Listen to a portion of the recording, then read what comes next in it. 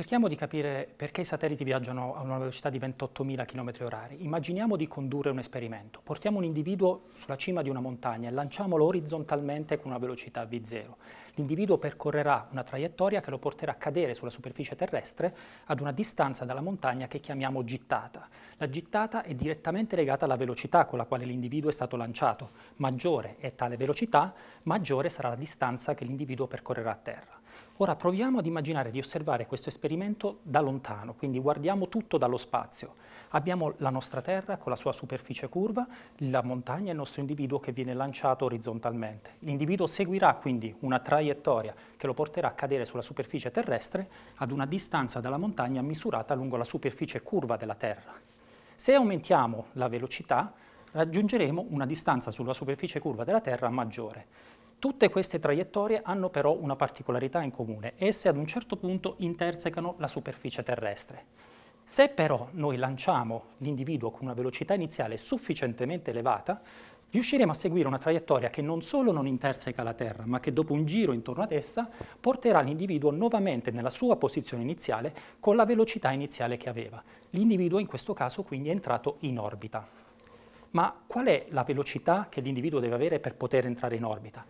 Eh, il valore dipende dalla forma dell'orbita e può essere in generale complicato calcolarlo. C'è però un caso particolare in cui in maniera semplificata riusciamo a trovare un'espressione per eh, trovare la velocità che l'individuo deve avere per poter orbitare intorno alla Terra. E mi riferisco al caso delle orbite circolari, che tra l'altro sono spesso utilizzate per i satelliti che orbitano intorno alla Terra. Lasciamo per un attimo da parte il nostro satellite e proviamo ad eseguire un semplice esperimento. Abbiamo qui un nostro bicchiere con una pallina al suo interno. Supponiamo a questo punto di rovesciare il bicchiere, ovviamente quello che accade è che l'accelerazione di gravità porta la nostra pallina a cadere verso la superficie terrestre.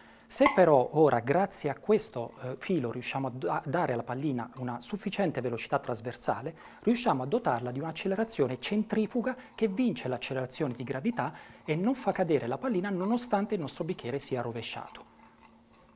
Possiamo immaginare che qualcosa di simile accada anche per il nostro satellite. Quindi torniamo ad analizzare il satellite che orbita con un'orbita circolare intorno alla Terra.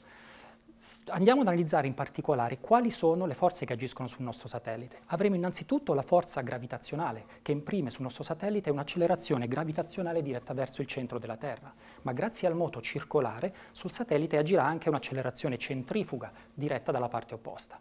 Per far sì che il nostro satellite orbiti su un'orbita circolare, queste due accelerazioni devono bilanciarsi. Andando ad uguagliare le espressioni dell'accelerazione gravitazionale e dell'accelerazione centrifuga, otteniamo l'espressione della velocità che il nostro satellite deve avere per poter vincere l'azione gravitazionale e di conseguenza orbitare intorno alla Terra con un'orbita circolare.